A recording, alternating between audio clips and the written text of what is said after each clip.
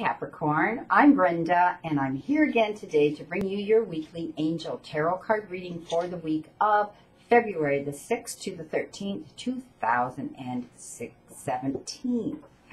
I want to thank you for your interest in my channel and for viewing, liking, and sharing these videos with your family members and friends that I put out there every week on YouTube. As you know, this is strictly a general reading, and every single card for every single day of the week cannot apply to every single person in the universe. But if you'd like clarity, accuracy, and answers to any questions, I can give that to you in a private reading. So I welcome you to go to my website, and that is www.brendataro, spelled T-A-R-O, dot info. See you soon, my friend. We start our week, Capricorn, on Monday with the a major card, and it is the Magician. And this is telling me that right now, if there's any plans that you have uh, that you want to work on, or any projects or any projects right now, know that your timing is right to begin any of these things. and stop worrying because you can pretty much manifest your dreams right now. Believe in yourself and stop procrastinating because you're going to be getting some unexpected resources to help you reach these and manifest these goals that you want. Seven of Fire for Tuesday. So this is our self-development card. This is about risk-taking and adventure and setting our creative juices into motion. This is showing me that you're going to be coming up against an issue where you're going to have to get up on your platform and defend your own beliefs and your own decisions.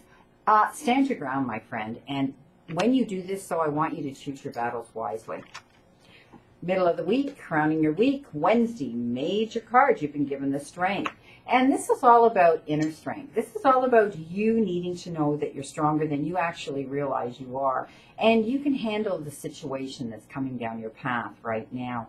But they want you to handle it in a gentler manner with kindness and compassion and gentleness and patience and forgiveness and think honey is better than vinegar.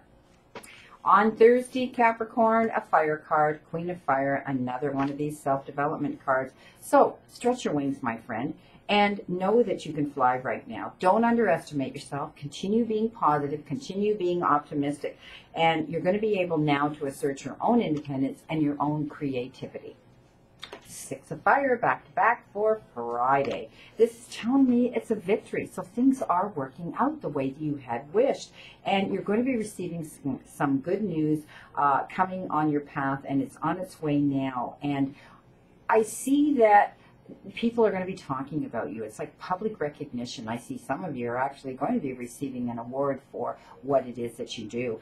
And others are just going to be talking about you and saying, my, what a difference in your demeanor and, and your personality and you're happy again and you're so much more like your old self. On Saturday, you've been given a major card, the Empress. And the Empress is all about your hard work now. That's going to bring you great rewards. It's like you have the Midas touch. No matter what you do, you're going to land on your feet. This is a wonderful card for you. Um, it's about, they refer to it as lavish abundance, and giving birth to your own dreams and nurturing yourself and others. Because the Empress to me is the major mother here figure, and she's here to take care. This is uh, about um, when I refer to the Midas touch, it means that in all parts of your life, marriage, children, family, relationships, they show me that they're all flourishing right now for some of you. And you can enjoy your life around you and know that uh, you deserve all the good that's coming your way here and now. Time, it's a time of excellence and it's a time of emotional and physical good health. So far, I see Capricorn, you're having an excellent week. Four of water. Maybe not for the romance card for some of you. This is telling me some of you are in a relationship and things are not working out the way you wish they had. And um, uh, it may be a situation that's not romantic. It may be, it may have to do with someone in your family, a member in your family, and you can't seem to find anything positive right now. You need to open your your mind up right now to any new possibilities. If you're in a love relationship, okay, and you're discontented and you're bored, please open your eyes to the opportunities coming down your path, okay?